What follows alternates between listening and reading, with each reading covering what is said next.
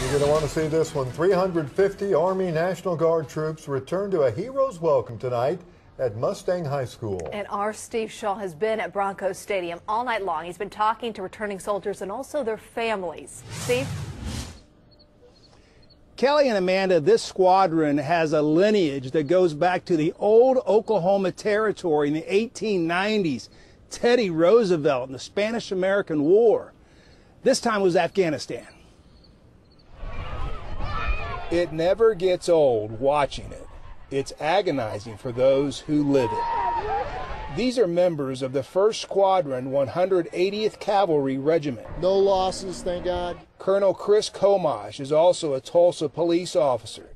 He says some of these soldiers have been deployed as many as six times. This time they did 10 months in Kabul, Afghanistan. How have you been able to stay in touch?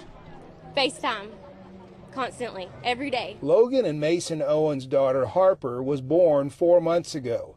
Daddy was about to see his littlest for the first time. Having two older children and then having a newborn on top of that, and I'm a full time teacher.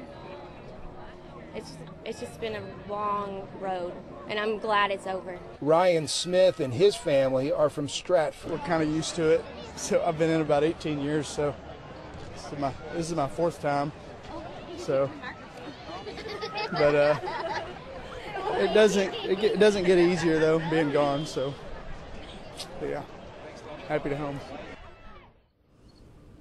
The soldiers drove up from Fort Bliss today. That's in uh, El Paso, Texas. They had a slight hiccup. One of the buses uh, broke down for about 30 minutes, but they got here.